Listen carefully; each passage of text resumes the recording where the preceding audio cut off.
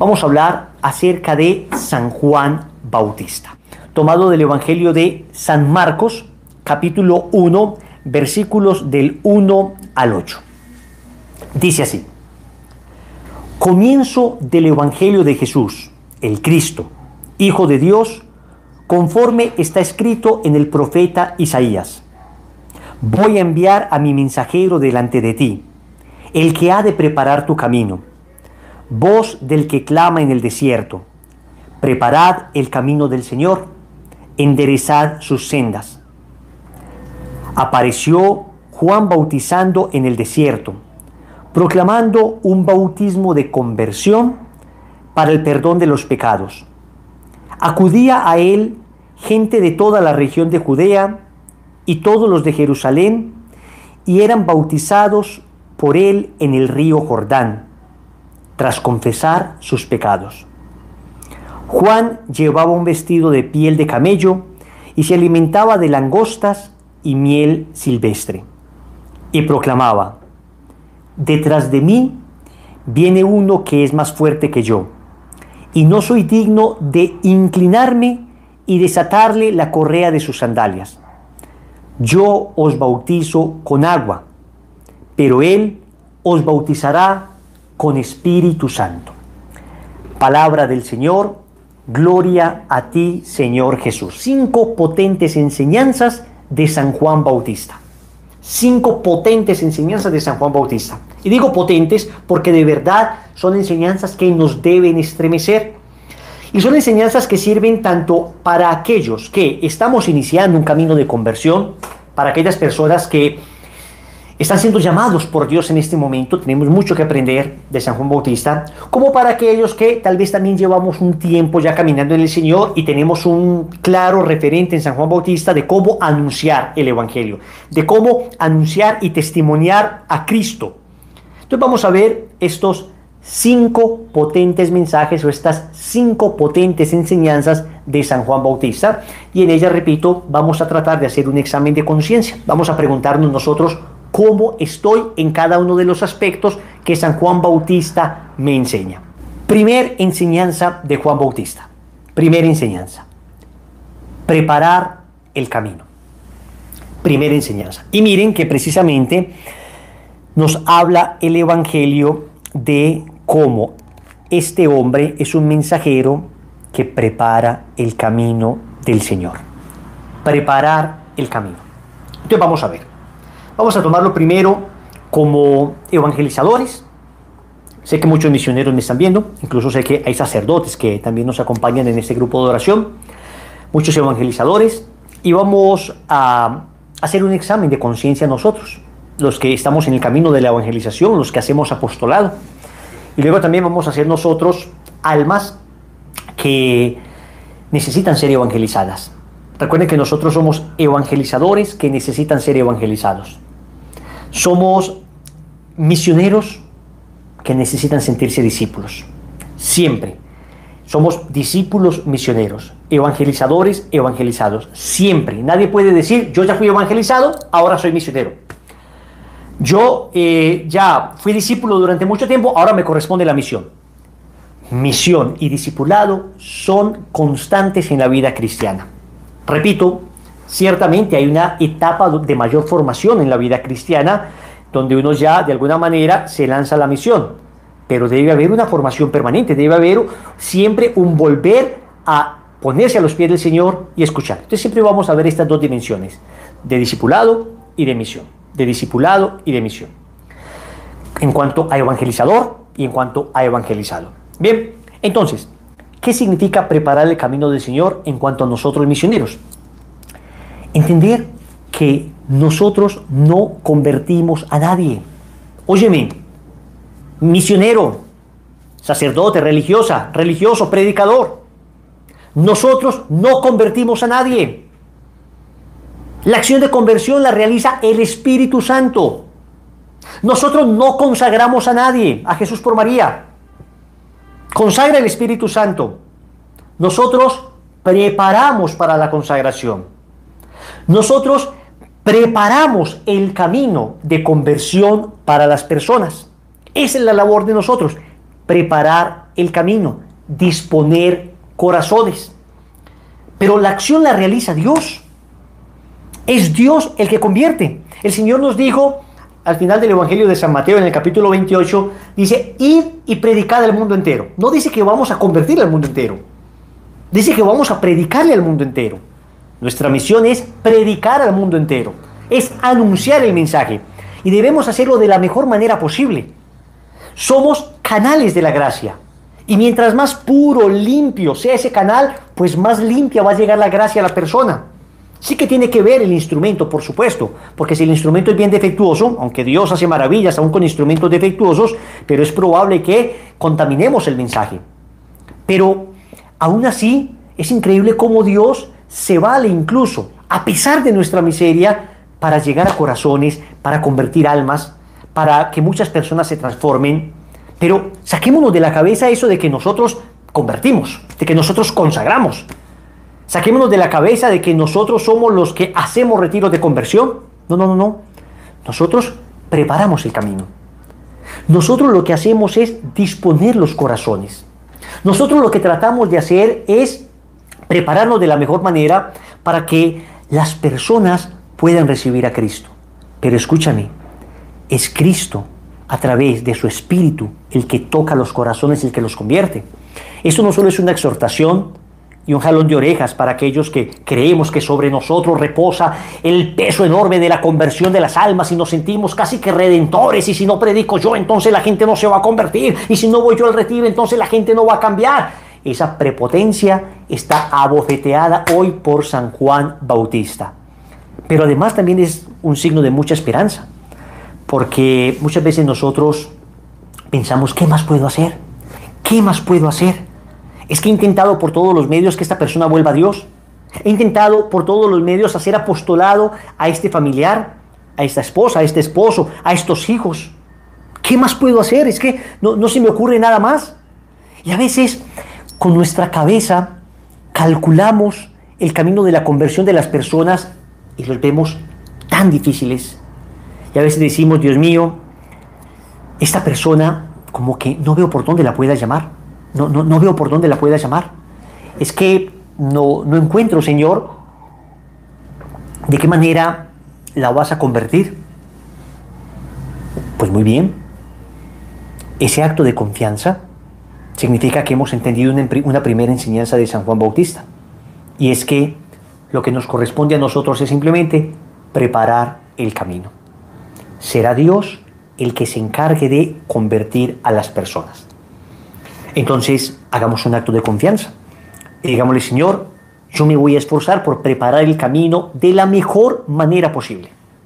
Voy a esforzarme por preparar el camino de la mejor manera posible. ¿Cómo?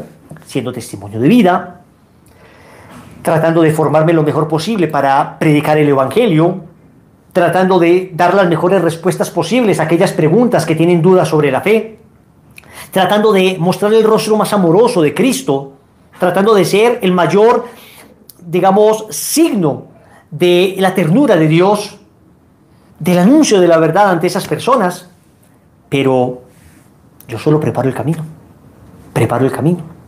Obviamente si hay un trabajo allí, porque un camino mal preparado puede significar que aquella persona no llegue a Dios.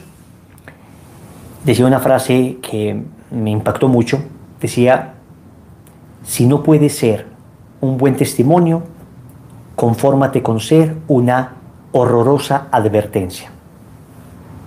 Si no puede ser un buen testimonio, confórmate con ser una horrorosa advertencia. Si la persona no puede decir mirándote, oye, así es uno que sigue a Jesús, porque nuestra vida es tan terrible, tan antitestimonial, entonces conformémonos con, ser una horrorosa advertencia. Conformémonos con que la gente diga, este es el mejor ejemplo de la hipocresía de uno que dice seguir al Señor. O sea, esto es exactamente lo que uno no debe hacer. No nos conformemos con ser una horrorosa advertencia.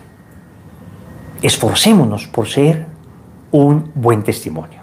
Un buen testimonio. Entonces, un primer punto, Juan Bautista nos enseña a preparar el camino en cuanto a evangelizadores. Ahora, en cuanto a evangelizados, en cuanto a discípulos, también significa para nosotros que en este tiempo de Adviento tenemos que preparar el camino para que el Señor nazca espiritualmente en nuestro corazón. Es decir, debe haber una disposición interior. Es tan fácil dispersarnos en medio de la época de sembrina, en medio de las compras, en medio de los descuentos del Black Friday, en medio del el ciberlunes, en medio del el día sin IVA, eh, en medio de, por Dios, promoción aquí, promoción allí. Es tan fácil dispersarnos, es tan fácil no estar preparando el corazón, el camino para que el Señor venga a nuestro corazón. Es tan fácil que en este tiempo que debería ser un tiempo de más de recogimiento, no digo que sea pecado comprar algunas cosillas, no digo que sea pecado, eh, digo, no estamos demonizando de ninguna manera que alguien pues haga las compras para Navidad, pero oye, oye, a ver, organízate, organízate, de tal manera que las compras se hagan puntuales, pero no te desgaste ni tiempo ni corazón en eso. Ya, se compraron, listo. Ahora el tiempo para mi Dios, para preparar el camino del Señor, para preparar mi corazón para que Él venga a habitar en él. San José y la Virgen María prepararon ese pobre pesebre para que naciera allí el Señor. Pues nosotros preparemos también nuestro corazón, que en ocasiones es más horrible que aquel pesebre. Aquel pesebre por lo menos tenía una fealdad natural y física, pero en el momento en que Jesús, María y José llegaron allí, ese pesebre, esa gruta se convirtió en un palacio. Pues muchas veces nuestro corazón tiene una fealdad espiritual, lleno de prepotencia, orgullo, lleno de vanidad, lleno de rencores, lleno de lujuria, lleno de avaricia, lleno de prepotencia, de tantas cosas que en realidad debemos quitar como telarañas y como mugre para preparar el camino del Señor.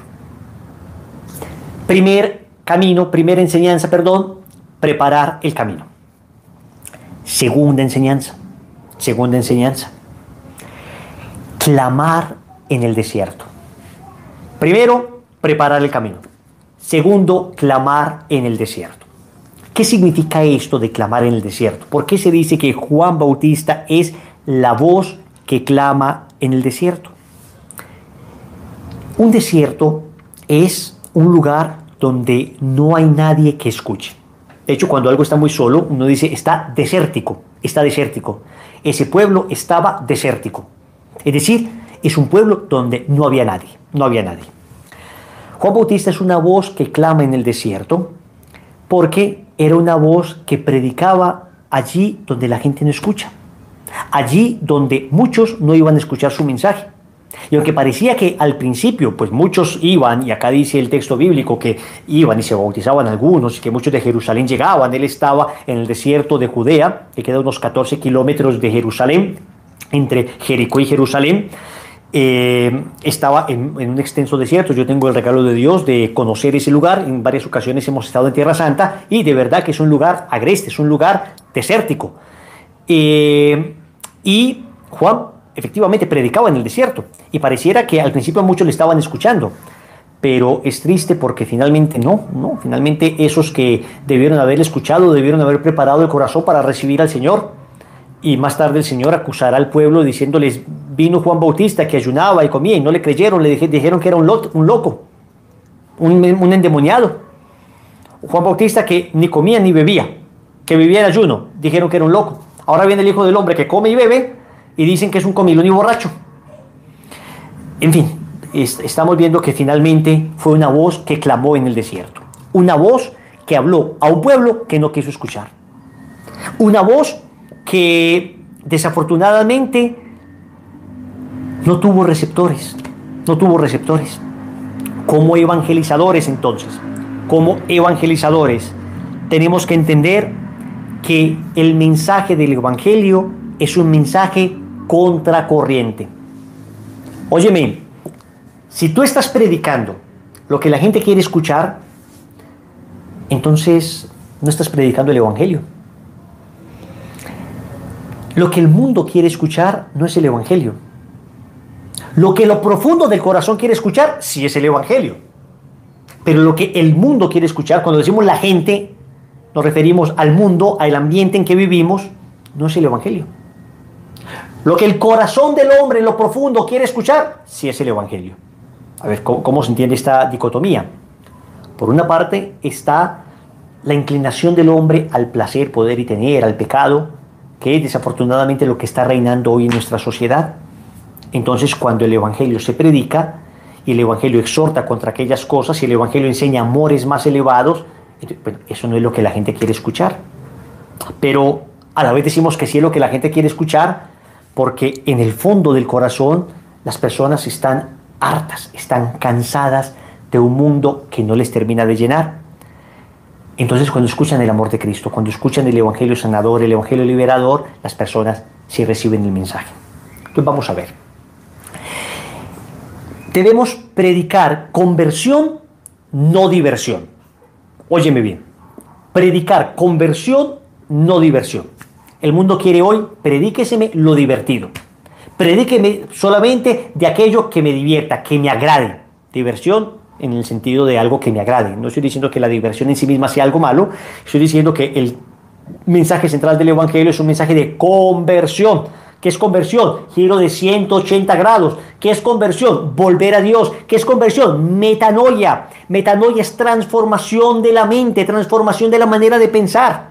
San Pablo en la carta a los Romanos capítulo 12 versículo 2 nos dice, no os acomodéis a la mentalidad del mundo actual antes bien, transformaos. Este transformarse es una metanoia. Una palabra griega, repito, que significa una transformación interior. Transformaos para que sepáis discernir la voluntad de Dios, lo bueno, lo perfecto y lo agradable. Entonces, conversión significa eso, una transformación en mi manera de pensar para que se transforme mi manera de vivir. El mundo quiere, predíqueme solamente de lo lindo, de la misericordia, de la ternura, de que Dios me ama. No me pida que deje la lujuria. No me pida que deje la fornicación. No, no, no, no me pida que sea justo con mis empleados y les pague lo que deberían. No, no me pida que cambie mi carácter. No, no, no. Usted predíqueme, dígame que Dios me ama mucho. Dígame que Dios me perdona siempre. Claro que eso hace parte del Evangelio. Y claro que esa es la centralidad del Evangelio. Pero debemos decir que el Evangelio es espada de doble filo. Por una parte está la misericordia y por otra parte está la justicia. Es que no se puede amputar, mutilar el Evangelio. No se puede predicar la mitad del Evangelio porque se convierte en un Evangelio ineficaz. Predicar para convertir, no para divertir. Predicar conversión, no diversión. Eso es predicar contra corriente. Es predicar, repito, contra una sociedad que se ha aburguesado una sociedad que ya no quiere que le digan qué es bueno y qué es malo, porque la sociedad quiere autodeterminar lo que es bueno y lo que es malo. Ahora resulta que es el hombre el que decide lo que está bien y lo que está mal, no Dios. Incluso decidimos lo que está bien y lo que está mal contra lo que la naturaleza misma nos revela. Nosotros ahora somos los creadores de la verdad, los creadores del bien, los creadores del mal. Recuerdo aquella sentencia tremenda de precisamente el profeta Isaías, capítulo 5, versículo 20, ay de los que llaman bien al mal y mal al bien. Esa es la sociedad de hoy, los que llaman bien al mal y mal al bien. Ay de los que llaman dulce a lo amargo y amargo a lo dulce. Ay de los que llaman luz a la oscuridad y oscuridad a la luz. Esa es la sociedad actual. A ver, usted predíqueme lo que endulce mi oído, lo que me divierta. San Juan Bautista dice, no, no, así seas una voz que clama en el desierto, así nadie te escuche, predica. Esto no significa que vamos a predicar como gruñones, porque voy a predicar la verdad en un mundo corrupto, que todos son malos y yo soy bueno, y el Evangelio es así, durísimo. No, no, no, no, calma, calma. Predica la verdad con amor, predica la verdad con toda la compasión, predica la verdad con toda la alegría, porque es que la verdad es alegría, porque la verdad libera. Porque cuando denunciamos el pecado, no somos unos amargados que queremos amargar al otro. No, somos personas que antes estábamos esclavos de eso y ahora que estamos libres queremos decirle al otro, oye, existe la libertad. Hay posibilidad de romper esas cadenas. Esas cadenas se pueden reventar. Cristo las puede reventar. Entonces predicar contra corriente es predicar conversión, no diversión. Es predicar arrepentimiento, no aburrimiento. Predicar arrepentimiento, no aburrimiento. Porque muchas veces, unido a lo anterior, pareciera que predicar significa llevar a las personas a una vida aburridísima, a una vida terrible. Es decir, si te conviertes, se te acaba la felicidad, cuando es todo lo contrario. Arrepentimiento es signo de verdadera felicidad. Y, se los digo por enorme cantidad de testimonios de personas que yendo a los retiros espirituales que dictamos en el movimiento, me dicen al finalizar el retiro, después de tener un encuentro personal con el Señor a través de la vida sacramental, a través de la confesión, a través del encuentro con la Eucaristía, la adoración del Santísimo, me dicen, ahora sé lo que es la felicidad. Ahora sé lo que es la felicidad. El arrepentimiento produce la verdadera alegría del corazón. Cuánta mentira nos vende el mundo en esas risotadas y carcajadas del pecado, el demonio haciéndonos creer que la felicidad se encuentra en pecar, cuando en realidad la felicidad se encuentra en una auténtica conversión. Cuidado, evangelizadores, cuidado, evangelizadores, cuando muchas veces nosotros nos dedicamos a mostrar un rostro triste a las otras personas. Que la gente dice, no, pues es que si eso es vivir como converso, prefiero seguir en el pecado, por duro que sea y por horrible que me signifique vivir esclavo de esto. Que quien te vea diga, yo quiero estar así, yo quiero una vida como esas, yo quiero un matrimonio así, yo quiero vivir la misa así, yo quiero hablar de Dios así, yo quiero esa mirada, yo quiero esa ternura, yo quiero ese trato con los demás me siento irresistiblemente atraído por esa alegría que desborda a la persona. Predicamos arrepentimiento, no aburrimiento. Predicamos conversión, no diversión. Tercero, predicar claridad, no ambigüedad. ¿Qué es predicar contracorriente? En un mundo donde todo es confuso, donde no existen los blancos ni los negros, sino que existe lo gris, donde no existe la luz y la oscuridad, sino que existen los strober. El strober es esa luz que apaga y prende, esa luz que apaga y prende muy propio de las discotecas. Hoy San Juan Bautista nos enseña que predicar en el desierto es predicar claridad, no ambigüedad. Predicar el Evangelio como es. San Francisco de Asís diría un Evangelio sin glosa. Sin glosa. La glosa es como la explicación que tienen los libros en los pies de página. Voy a leer una glosa, voy a leer una explicación. Evangelio sin explicación es evangelio vivido al pie de la letra. Obviamente en aquellas cosas que se deben vivir al pie de la letra, no, aquello que dice, si tu mano te hace pecar, córtatela. Si tu pie te hace pecar, arráncatelo. Si tu ojo te hace pecar, sácatelo. Ah, voy a vivir el evangelio sin glosa. Chao mano, chao pie, chao ojos. Hombre, no, no, no. Claro que hay cuestiones que admiten interpretación y es necesario interpretarlas. Pero cuando el Señor dice, el que se case con su mujer, se separe de ella y se une con otra, comete adulterio contra la primera, eso es sineglosa. A ver, ayudemos en esta situación que la persona está viviendo. Pero es que es así. Es decir, el Evangelio lo dice. Es una situación complicada, la iglesia es madre misericordiosa, extiende sus brazos y ayuda y acompaña a esas personas para que empiecen tal vez un proceso de nulidad. Eh, hay caminos, hay caminos, pero el Evangelio no se puede dejar de predicar. Cuando se le dice a un par de jovencitos, hombre, Dios quiere que vivan castamente su noviazgo. El Evangelio es sin glosa. Es, es claro, no ambiguo.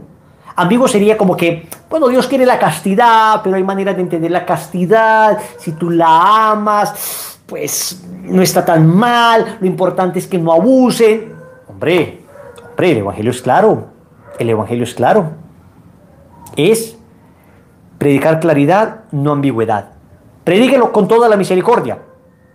Predíquelo con toda la delicadeza, pero con toda la claridad, con toda la claridad. El tema del aborto, el tema de, la ideología de género, el tema de eh, corrientes políticas ateas, eh, marxismo, eh, comunismo, pero también capitalismos salvajes, eh, que están devorando a, las personas y sumiendo a otros en terribles pobreza. A ver, sin glosa, con claridad, denuncie. es que usted no es de derechas ni de izquierdas, usted es de Cristo. Y usted no va a predicar de derechas o de izquierdas, usted va a predicar de Cristo, con toda claridad, sin ambigüedad, con claridad.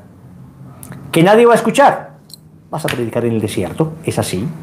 San Juan Bautista lo dijo. Es predicar eternidad, no mundanidad. Predicar eternidad, no mundanidad. Ya dijimos, es predicar conversión, no diversión, predicar arrepentimiento, no aburrimiento, predicar claridad, no ambigüedad, predicar eternidad, no mundanidad.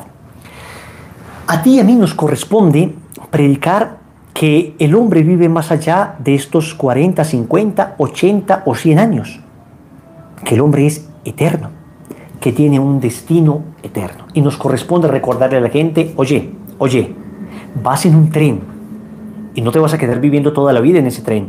Llegará un momento donde el tren frenará y te llevará a la estación. Está bien que hagas lo más cómodo posible tu viaje en el tren, pero no está bien que te acostumbres a vivir en el tren, porque estás llamado a vivir fuera del tren. Estás llamado a vivir fuera de este mundo. Estás llamado a vivir en la eternidad. Y no podemos perder de vista en un mundo materialista, en un mundo mundano que nos dice, lo importante ahora es buscar el placer, lo importante ahora es huir del dolor a como dé lugar, lo importante es que comamos y bebamos que mañana moriremos. Hay que decirle, mañana morirás, pero serás juzgado por lo bueno y lo malo que hiciste. Comamos y bebamos que mañana moriremos, pero mañana morirás y te encontrarás con el Señor y te encontrarás con tus manos llenas de obras o con tus manos vacías. Sí, mañana moriremos, Mañana moriremos y hemos de encontrarnos con el Señor. Entonces, predicar eternidad, no mundanidad. Esto en cuanto a los misioneros. Pero en cuanto a los discípulos, es decir, en cuanto a aquellos que necesitamos misión, también clamar en el desierto implica luchar contra nosotros mismos. Luchar, predicarnos a nosotros mismos. El primer sujeto de evangelización eres tú. El primer evangelizado eres tú. Cuando tú predicas, al primero que predicas es a ti mismo. Por eso todas estas palabras debemos llevarlas a la oración. Y tenemos que entender que nosotros estamos llamados a abrir los oídos para que lo que Dios nos dice no sea predicado en el desierto. Abrir el oído para que escuche una voz divina, celestial, que transforme el corazón.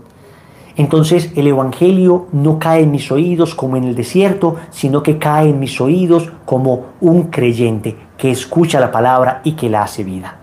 Entonces yo debo afinar mi oído para que la palabra de Dios no caiga en mi corazón como en un desierto, sino como en tierra fértil que dé frutos del 30, el 90 y el 100 por uno. ¿Quién como Dios? Nadie como Dios. Primera enseñanza de Juan Bautista, preparar el camino. Segunda enseñanza, clamar en el desierto. Tercera enseñanza, Juan Bautista nos, nos enseña vestirse de piel de camello. Vestirnos de piel de camello. Vamos a ver qué significa esto. Eso significa la sencillez. Significa la sencillez. El predicador debe tener sencillez. Juan Bautista hubiese podido aparecer vestido pomposamente, Saben ustedes que Juan Bautista era hijo de Santa Isabel y San Zacarías. Y saben ustedes que Zacarías era de estirpe sacerdotal. Y saben ustedes que la estirpe sacerdotal era generalmente estirpe adinerada. Digamos que hubiera podido él presentar el holocausto, la ofrenda en el templo, significa que algún tipo de posición interesante tenía el papá de Juan Bautista. O sea, Juan Bautista pertenecía de alguna manera a la aristocracia, a la aristocracia. Hubiera podido llegar vestido de lino, hubiera podido llegar vestido de una túnica elegantísima, pero no, está vestido de piel de camello, vestido de piel de camello. venga, venga, y no es de, de, pieles pues finísimas, pues, no falta el que esté diciendo, ay, mira qué chévere, Juan Bautista se vestía de pieles, o sea que yo me puedo comprar ese, ese saco de piel bellísimo que me encanta al estilo Juan Bautista. No, no, no, no, no, no, no. Óyeme, piel de camello. Piel de camello es piel recogida del desierto de un camello que había muerto. Simpleza. O simplicidad, más bien. Sencillez. Sencillez. Sencillez en nuestra vida.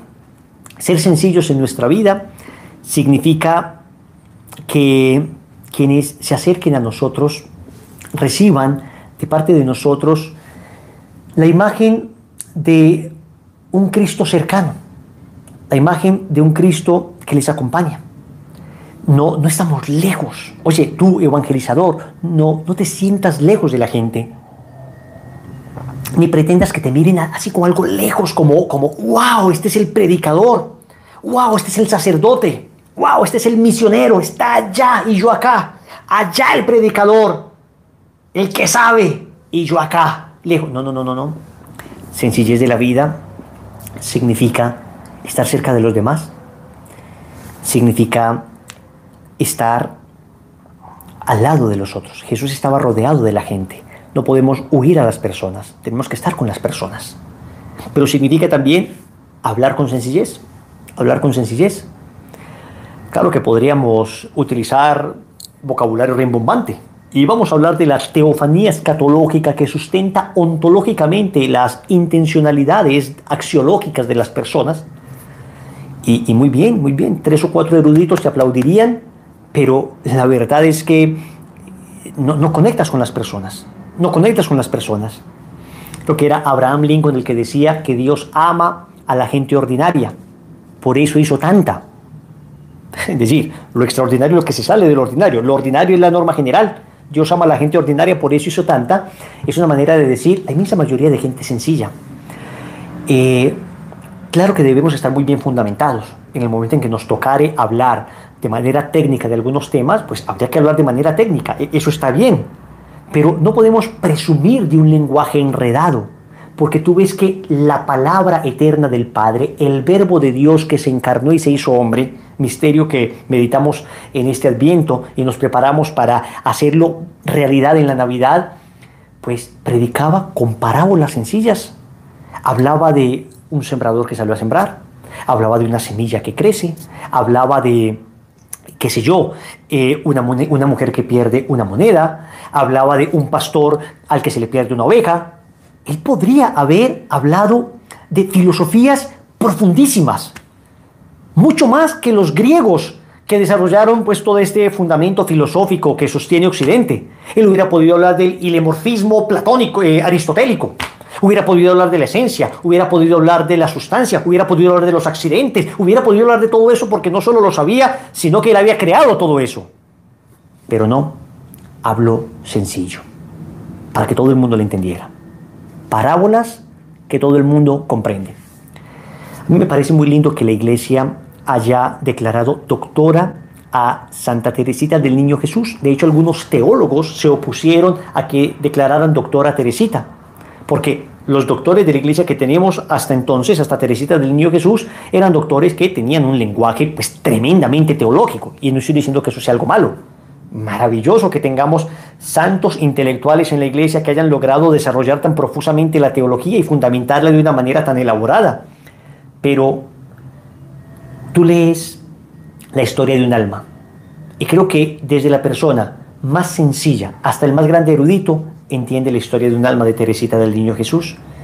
Y esos grandes teólogos decían, pero ¿cómo van a nombrar doctora de la iglesia a alguien que, que escribió tan sencillo? Y la iglesia dijo, pues precisamente, es que escribió tan sencillo, pero fue a lo esencial.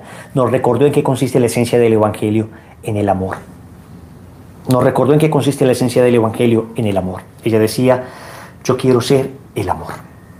Entonces, ser sencillo, hablar sencillo, comportarse sencillo. Esto de piel de camello significa comportarse sencillo. Es decir, tratar de comportarnos con naturalidad, con sencillez, con las personas. Esto es importante. Eh, y esto de comportarse sencillo yo creo que ya pega mucho al discipulado, ¿no? No solo a la misión, Claro, mientras más sencillo seas, más fácil es que las personas se acerquen a Cristo. Pero ser sencillo no es fácil. Ser sencillo no es fácil. A veces nos enredamos en tantas cosas y a veces nuestra mente está embotada en tantas realidades que en ocasiones nos cuesta dificultad encontrar la sencillez, nos cuesta dificultad enfocarnos en lo que es. Primero, Juan Bautista nos enseña a preparar el camino. Segundo, Juan Bautista nos enseña a clamar en el desierto. Tercero, Juan Bautista nos enseña a vestirnos de piel de camello, a ser sencillos en tu vida, incluso en tu vida económica, incluso eh, en lo que tienes. Procura la sencillez. La sencillez no supone la elegancia. La sencillez no significa fealdad. Sencillez no es signo de paupérrimo. Lo sencillo puede ser elegante también. Puede ser bonito y estético. Saben ustedes que la belleza hace parte de los trascendentales, es decir, hace parte de lo que Dios ha marcado en la humanidad. ¿no? Dios es el bello. Dice un salmo que Jesús es el más hermoso de los hijos de los hombres.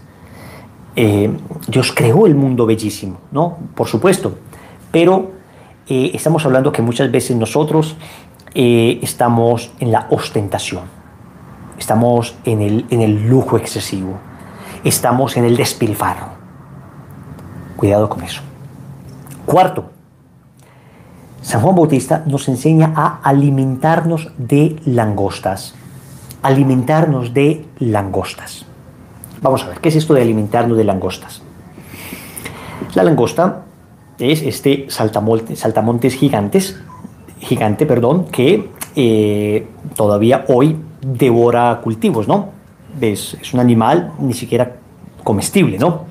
Claro, existe también la langosta de mar, es una, a, quien le gusta la comida de mar es delicioso, pero existe la langosta, este, un saltamontes gigante que devora cultivos y que son plagas, manadas. No es propiamente un animal comestible. ¿Por qué no se alimenta Juan Bautista, repito, viniendo de una familia de buena posición, de exquisitos manjares, de platos finos? Porque Juan Bautista nos está enseñando la mortificación. La mortificación. Y para ir concluyendo, quiero recordarles que es indispensable mortificarnos para ayudar en la conversión de otras personas. Es indispensable el ayuno. Es indispensable entender que las almas se ganan de rodillas. Es indispensable comprender que nuestros ayunos, nuestras penitencias, nuestros eh, sacrificios, aquellas abstinencias que tenemos de determinados alimentos, aquellas privaciones voluntarias de cosas deliciosas, de postres en, periodos determinados, eh, quienes tenemos, digamos, la sana costumbre de ayunar a pan y agua, por gracia de Dios y que hemos escuchado con devoción tanto el mensaje de la Virgen donde pide el, ayuno y hemos escuchado a la iglesia donde recomienda la mortificación, que no por mérito propio, sino porque creemos en todo esto y porque hemos recibido la gracia, pues sabemos que tiene un efecto tremendo, tremendo. La mortificación al momento de evangelizar, al momento de predicar, al momento de tocar almas. Un efecto tremendo. Pareciera que la mortificación logra en las almas lo que el calor intenso logra en algunos alimentos. Cuando se tienen alimentos excesivamente duros, entonces se somete en una olla a presión a calores intensos que finalmente ablandan ese alimento duro. Pues lo mismo pasa con la mortificación. Hay almas como duras y Dios ha querido que nos mortifiquemos para ayudar como a ablandar esos corazones. Eso, pero es una obra de Dios. Sí, sí, es una obra de Dios, pero Dios ha querido participarnos a nosotros, participarnos a nosotros en la obra corredentora de alguna manera. Es decir, en participar de la redención de las almas. Porque claro, el Señor podría hacerlo directamente todo. De alguna manera, cuando nos quiere utilizar a nosotros sin necesidad absoluta, pero nos quiere utilizar como evangelizadores, es porque quiere que tú te vincules y así como Él murió en la cruz, unas tu pequeño sacrificio al sacrificio de Cristo en la cruz. Conforme a aquello que dice el apóstol San Pablo en la carta a los Colosenses, capítulo 1, versículo 24. Completo en mi carne lo que faltó a Cristo por el bien de su iglesia, lo que faltó a la pasión de Cristo. ¿Faltó a la pasión de Cristo algo en cuanto a Cristo? No, en cuanto a Cristo no, no faltó nada. Él lo entregó todo y su muerte en la cruz fue suficiente para redimirnos. Pero en cuanto a cabeza, Él sufrió lo que tenía que sufrir. Nosotros en cuanto a cuerpo místico de la iglesia, cuerpo místico de Cristo, también nos corresponde un proceso de unirnos a su pasión. Por eso nosotros entendemos que la mortificación, unida al sacrificio de Cristo en la cruz, tiene valor redentor, tiene valor redentor. El Papa Pío XII decía que lo que más le impactaba a él de la aparición de la Virgen en Fátima, estamos en 1917, Cova de Iría, en Portugal, en Fátima, era aquella frase de la Virgen María, muchas almas se pierden porque no hay quien ore y se mortifique por ellas.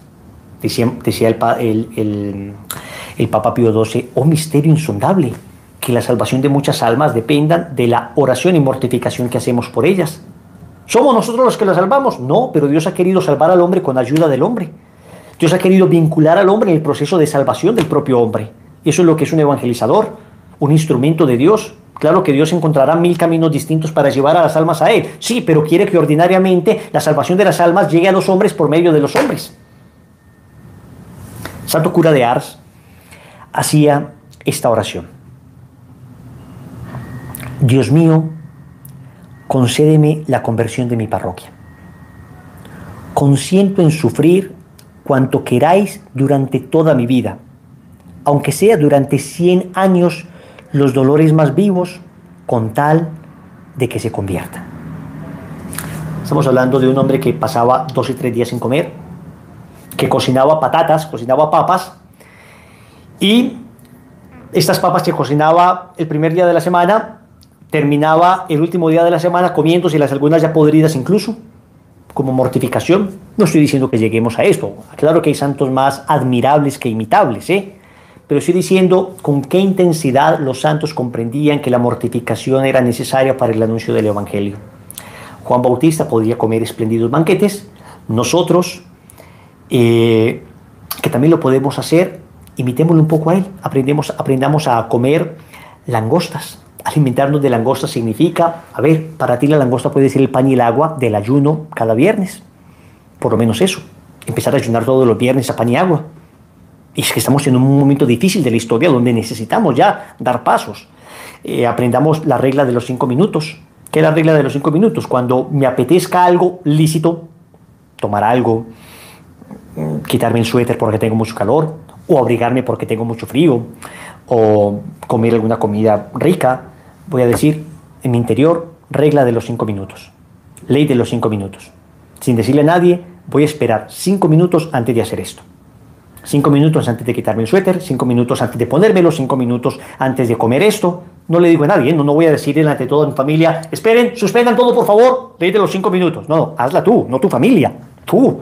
Quédate calladito, cinco minutos pasan así, nadie se da cuenta y tampoco sobreactúes. O sea, que todo el mundo comiendo y tú ahí. ¿Qué haces? Ley de los cinco minutos. Hombre, no. Naturalidad, naturalidad. Pero de alguna manera estoy diciendo, todos estamos exhortados con Juan Bautista. Aprendamos a comer langostas. Aprendamos a comer incluso aquellas cosas que no nos gustan.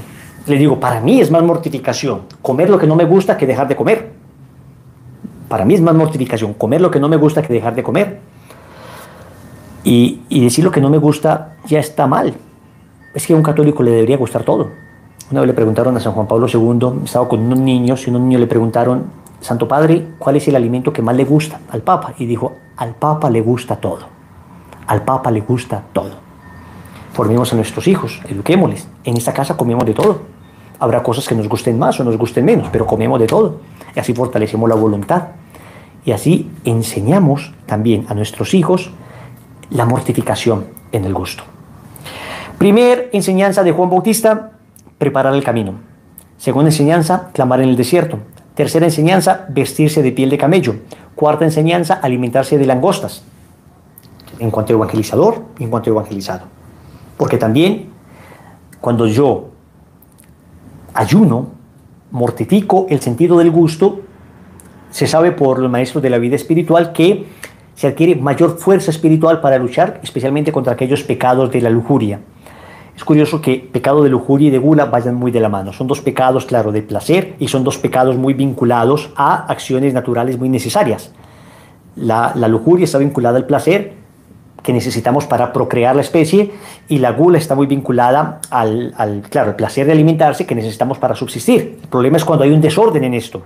El placer en sí mismo de estas dos realidades no está mal, Dios lo puso allí, pero cuando se desordena, Cuando se cae ya no en el placer sexual, sino en la lujuria, ya no en el placer de comer, sino en la gula, allí es cuando hay un desorden. Entonces, los placeres de la mesa muchas veces preparan los placeres de la cama o de la carne. Muchas veces la gula es la antesala de la lujuria. Tomás de Kempis dicen en la imitación de Cristo, refrena tu gula y podrás controlar fácilmente tus instintos sexuales. Hay personas que son muy lujuriosas porque le dan mucho gusto a su cuerpo lo que le pide, cualquier detallito, cualquier golosinita, cualquier comidita. Hay que aprender a mortificar nuestra carne. ¿Quién como Dios? Nadie como Dios. Finalmente, última enseñanza de Juan Bautista. Repito, no es una lista exhaustiva, hay muchas más, pero última que queremos resaltar del Evangelio de hoy es reconocerse pequeño. Reconocerse pequeño. Juan Bautista dice, detrás de mí viene uno que es más fuerte que yo no soy digno de inclinarme y desatarle la correa de las sandalias. ¿Quiénes son los que se inclinan y desatan la correa de las sandalias? Los esclavos se inclinan ante sus amos a desatar las correas de sus sandalias cuando llegan de un viaje. Juan Bautista dice, no soy digno siquiera de llamarme esclavo. No soy digno siquiera de reconocerme como esclavo. Y lo dice él precisamente porque en el contexto en que se encontraban, en una tremenda expectación mesiánica, o sea, todo el mundo estaba esperando el Mesías, fácilmente le confundían él con el Mesías. Fácilmente le confundían a él como aquel que estábamos esperando. Y Juan Bautista dijo, no, no, no, no, no, que te quede claro, yo soy simplemente la voz que clama en el desierto, que preparo el camino para el Señor. Luego en el Evangelio de San Juan, capítulo 3, versículo 30, aparece una frase de Juan Bautista que debería ser el itinerario de todos los anunciadores del Evangelio. Es preciso que Él crezca, cuando decimos Él nos referimos a Cristo, es preciso que Él crezca y que yo disminuya. Es preciso que Él crezca y que yo disminuya. Tremendo examen de conciencia y tremendo jalón de orejas para aquellos que algo hacemos de evangelización y que tan fácilmente corremos la tentación de que las personas se adhieran a nosotros, de que las personas se apeguen a nosotros. Qué tremenda exhortación de Juan Bautista. Y cuando de repente eh, alguien critica nuestro apostolado, alguien critica nuestra acción apostólica, entonces nos enojamos, nos sentimos mal, claro, porque nos estamos predicando nosotros mismos, claro, porque era nuestro orgullo, porque lo que estaba predicando era nuestro orgullo, porque no estaba predicando el Evangelio, sino su Evangelio, porque no estaba predicando el Evangelio de Cristo, sino su propio Evangelio. ¿Puede decir alguno de nosotros que está libre de eso? ¿Puede decir alguno de nosotros que en eso no caigo? No, no, no.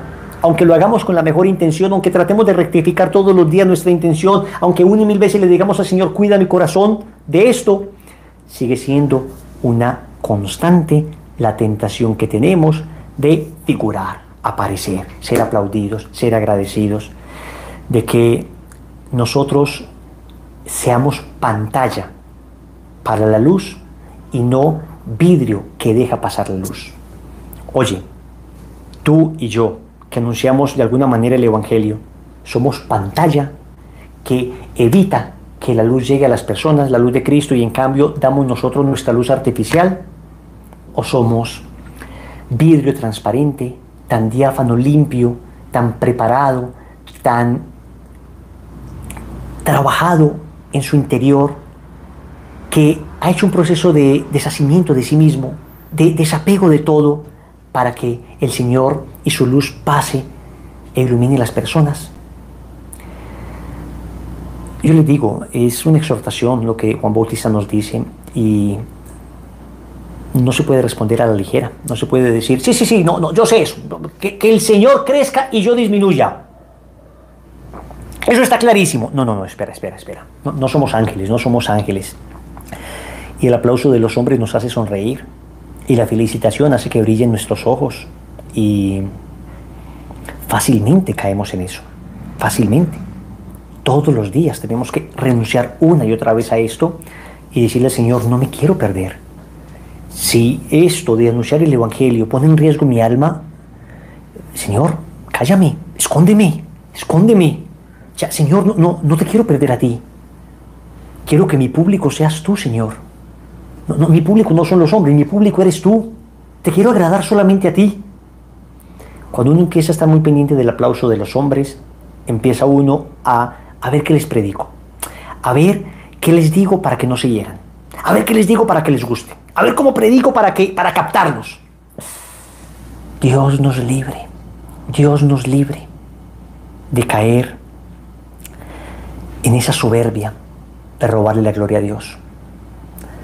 Y les digo, un examen de todos los días, un examen de todos los días.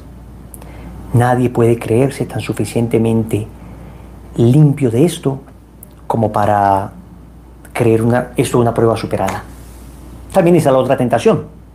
Hombre, creer que como nunca voy a lograr ese nivel de perfección en la humildad, pues entonces nunca voy a predicar, mejor me quedo callado porque pues algo de soberbia siempre habrá ahí, siempre habrá el riesgo de la prepotencia, siempre habrá el riesgo de la vanagloria, de aparecer. Cuidado con la otra tentación, el demonio normalmente tienda por, tiende, tienta por extremos, ¿no? El demonio normalmente tienta por extremos, o el extremo de la vanagloria o el extremo de la desesperación, o el extremo de sí, sí, sí, sí, sí, eh, es Dios, es Dios, pero soy yo en realidad, o el extremo de decir, no, es que soy tan indigno de predicar que pues no voy a decir nada. Hombre, pues cualquier obra que se realice en nombre de Dios se corre el riesgo de la vanagloria. Una cantante, un cantante que cante bien hermoso, pues claro que se corre el riesgo de la vanagloria. Todo el mundo le va a felicitar, tu música me llega al, alma. Eh, claro, hay un riesgo allí. Pero debe haber una sólida vida espiritual detrás. Por eso especialmente aquellos que son o que somos más tentados a la vanagloria, debemos todavía orar más. Debemos todavía estar más vigilantes, debemos tener un sabio director espiritual. Los que pertenecemos a una comunidad somos felices porque tenemos unos directores que nos dicen, pueden predicar o no pueden predicar, canta o no canta, eh, haz este apostolado o no lo hagas. Eso nos cuida de la vanagloria, nos cuida de, de la prepotencia, nos cuida de aparecer. Porque a veces uno dice, sí, sí, a esto sí le voy a predicar, a estos no. O sea, vas escogiendo, ¿no? En cambio, cuando tienes a alguien a quien obedecer, ya, pues tú de alguna manera eres dócil y te va cuidando un poco. Y en ocasiones te van a decir, eh, tengo un par de amigos que cantan bellísimo, y sin embargo, eh, sus directores de comunidad le dijeron, no, no, no, van a cantar durante un tiempo. ¡Qué maravilla!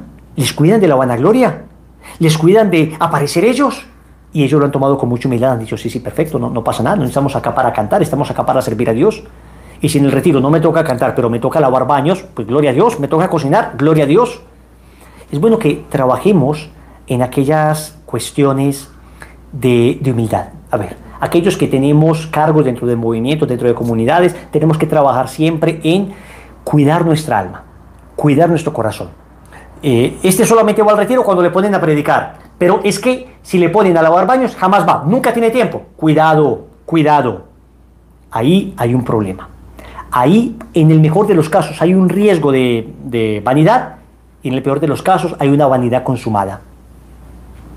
Hagamos también nosotros labores sencillas, labores humildes. A ver, me invitan a predicar dónde. ¿Cuánta gente va? ¿Cuánta gente me va a escuchar? ¿Cuántos se van a conectar? Pocos, no, no, no, no, eh, eso no es para mí, o sea, eh, no, no, pon a predicar a otra personita, va 20 personitas, no, no, no, o sea, yo, yo le predico a multitudes, a vanagloria, vanagloria. A ver, ¿dónde? ¿A Estados Unidos? Sí, sí, en Estados Unidos predico. A, este, a, este, a este pueblo pobrísimo, no, no, no, que, que, vaya otra gente. Vanagloria, vanagloria. Y vanagloria es eso, una gloria vana, una gloria que, es que la gloria que te dan los hombres es una gloria que se escurre, es una gloria que no produce frutos, es una gloria no eterna, una gloria vana. Cuidémonos de eso, cuidémonos de eso todos, repito, caemos eh, en ser candidatos de esta tentación. Todos somos candidatos perfectos de esta tentación. Primero, preparar el camino. Segundo, clamar en el desierto. Tercero, vestirse de piel. Cuarto, alimentarse de langostas. Y quinto, reconocerse pequeño. Yo te invito para que en ese momento cierres tus ojos. Cierra tus ojos un instante y deja que tu alma se deje exhortar por Juan Bautista.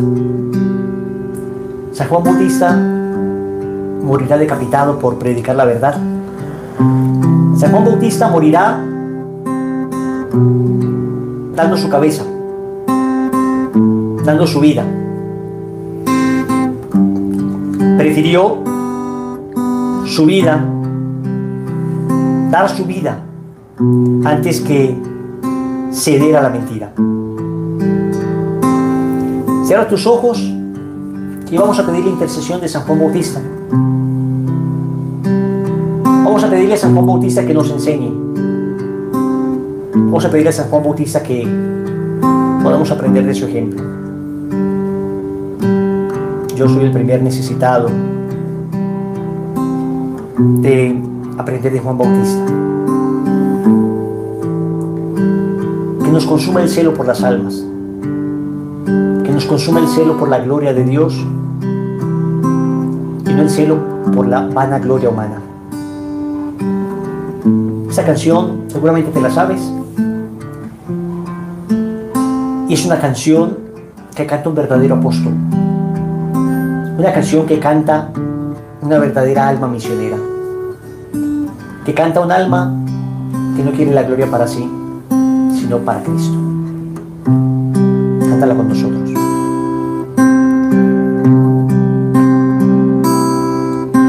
Señor, toma mi vida nueva antes de que la espera desgaste años en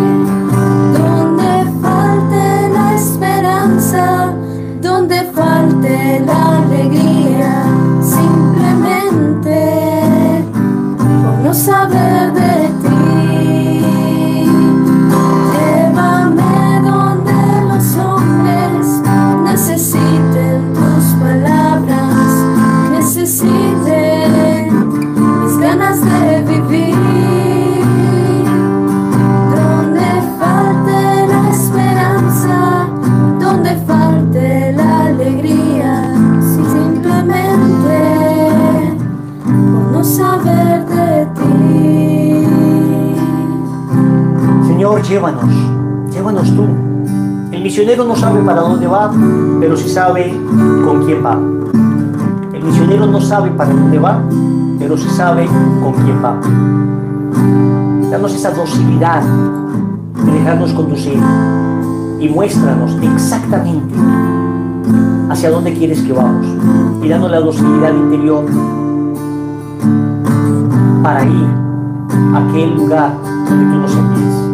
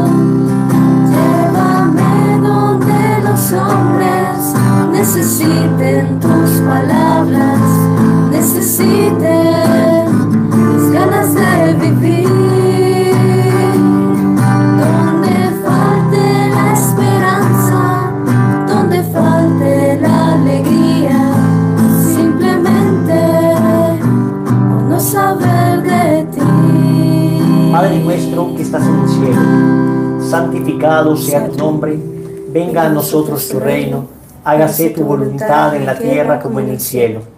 Danos hoy nuestro pan de cada día, perdona nuestras ofensas, como también nosotros perdonamos a los que nos ofenden. No nos dejes caer en la tentación y líbranos del mal. Amén. Dios te salve María, llena eres de gracia, el Señor es contigo. Bendita tú eres entre todas las mujeres, y bendito es el fruto de tu vientre Jesús. Santa María, Madre de Dios, ruega por nosotros los pecadores, ahora y en la hora de nuestra muerte. Amén. Gloria al Padre y al Hijo y al Espíritu Santo, como era en un principio, ahora y siempre, por los siglos de los siglos. Amén. en el nombre del Padre y del Hijo y del Espíritu Santo. Amén. ¿Quién como Dios? Nadie como Dios. Gracias por acompañarnos y que la gracia de Dios sea con ustedes. Muchas bendiciones.